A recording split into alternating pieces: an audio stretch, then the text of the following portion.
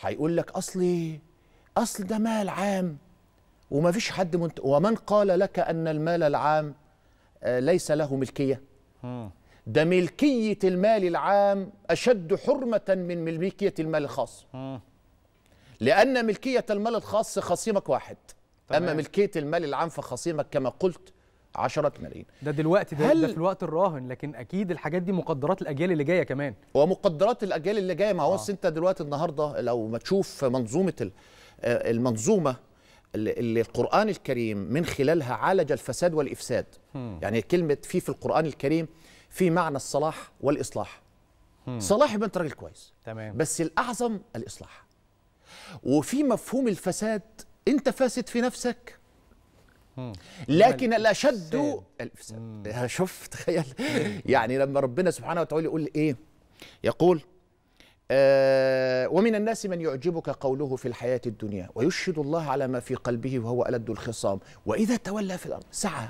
وإذا سعى ليفسد فيها ويهلك الحرث والنسل. والله لا يحب الفساد. خطورة الراجل ده إيه بقى؟ خطورة الراجل ده مش حامل الفيروس وساكت وخلاص بينشره. فضرره ده بينشر الفيروس.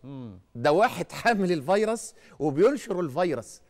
فإذا هذا أشد خطورة من هذا الفاسد الذي يحمل الفيروس ويكتفي بنفسه وخلاص. وانتهى الموضوع فضرره على نفسه. ما تشوف هذه المنظومة في القرآن الكريم تجد العجب العجاب.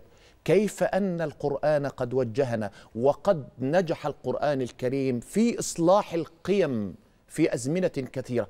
وإحنا في أمس الحاجة إن إحنا بهذه المنظومة القرآنية إن إحنا ممكن عن طريق الوعي والضمائر وخطب الجمعة والدروس بتدريب جيد وبخطاب شيق تحويل الخطاب الديني وخطابات الوعي المختلفة من خطابات وعظية أو خطابات جامدة أو متقعرة أو خطابات شكلية لإنتاج تدين شكلي إلى خطاب يشتبك مع الق... يشتبك لصالح القيم ولصالح الأخلاق. طيب وحضرتك بتقول إن أنت بتنزل على الأرض عشان تعرف السبب فتناقش اللي عمل فعله زي دي فهيقول لك مثلا مرة الظروف. بعض الناس ممكن يقول لك هي جت عليا.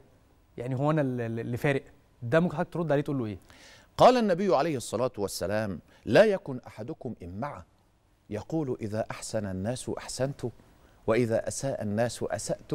ولكن إذا أحسن الناس فأحسنوا وإذا أساء الناس فأحسنوا.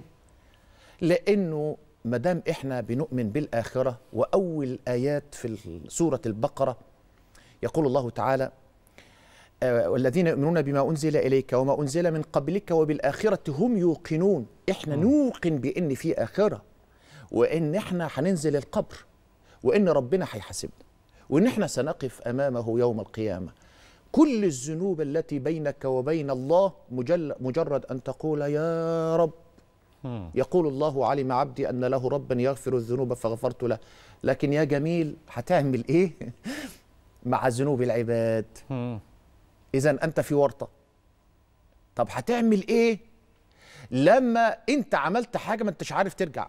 يعني أنت مشيت في طريق وصعب جدا الرجوع الرجوع عشان أنت تصلح اللي أنت عملته.